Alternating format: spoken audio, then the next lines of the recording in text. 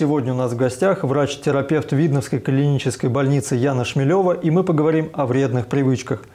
Яна, здравствуйте. Здравствуйте, Дмитрий. Давайте начнем с того, что вообще такое здоровый образ жизни и какие вредные привычки вот, прежде всего приходят на ум. Да, здоровый образ жизни – это образ жизни каждого, каждого отдельного взятого человека, который э, направлен с целью профилактики, развития и возникновения каких-либо заболеваний, ну а также с целью укрепления здоровья. Э, вот.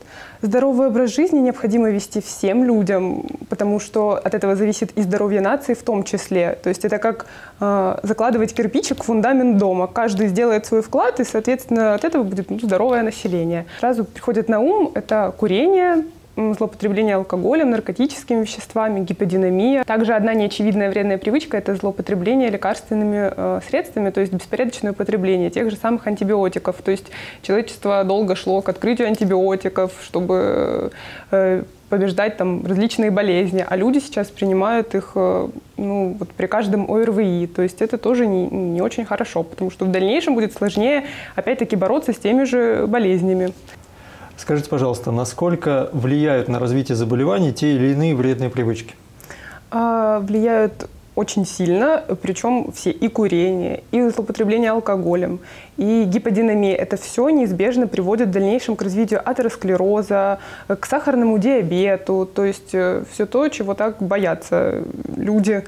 Э, к этому приводит, так как вот курение, оно и пассивное, и активное вредно. Пассивное даже в большей мере, потому что человек, когда курит, он вдыхает это все через фильтр сигареты, а пассивные курильщики вдыхают это все вот полностью. Из-за этого возникает кислородное голодание в головном мозге, сгущается кровь, образуются тромбы, соответственно, это приводит к повышению кровяного давления, и риск возникновения инсультов, инфарктов возрастает. Причем все люди знают о том, что курить вредно, но вот достаточно много сейчас активных э, курильщиков. Мы уже сказали, о курении, об алкоголе – это первое, что приходит на ум. Но есть ли какие-то вредные привычки менее очевидные, но тем не менее такие же опасные?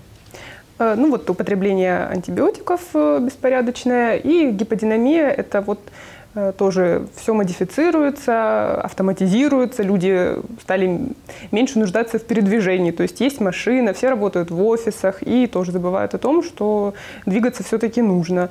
Э, и стрессы, которые, к сожалению, мы ограничить не можем и избавиться от них, но мы можем поменять свое восприятие и отношение на эти стрессы и помнить о том, что нужно заниматься профилактикой не только физического здоровья, но и ментального. Э, то есть если требуется работа с психологом то, или с психотерапевтом, этого не стоит стыдиться, и надо к этому прибегнуть, э, чтобы беречь свое здоровье, потому что э, стресс – это фактор риска тоже многих э, заболеваний. Вот желудочно-кишечный тракт очень реагирует на это. Вот. Когда вы беседуете со своими пациентами, а какие рекомендации вы им, что вы им советуете? А, стараться вести здоровый образ жизни, рациональное питание, сон. Обязательно нужно высыпаться. Необходимо ложиться спать до 23 часов и ну, примерно соблюдать это, то есть там, высыпаться по 7 часов. А, правильно питаться, сбалансированно питаться. То есть, в принципе, можно все употреблять, просто ну, не увлекаться, чтобы был баланс. Вот, э, заниматься спортом. Это не должны быть там какие-то олимпийские виды спорта, просто зарядка хотя бы элементарная с утра, ходьба очень полезная, не менее двух часов в неделю хотя бы нужно ходить. И это уже будет держать мышцы в тонусе, вес не будет увеличиваться, соответственно, риск возникновения тех или иных заболеваний снижается. Большое спасибо. Я думаю, что это вполне себе дельные советы, которые не затронут обычную, казалось бы, жизнь, э, чтобы человеку что-то пришлось кардинально в ней менять. Спасибо. Спасибо большое за то, что нашли время, пришли к нам. Напомню, что у нас в гостях была врач-терапевт Видновской клинической больницы Яна Шмелева.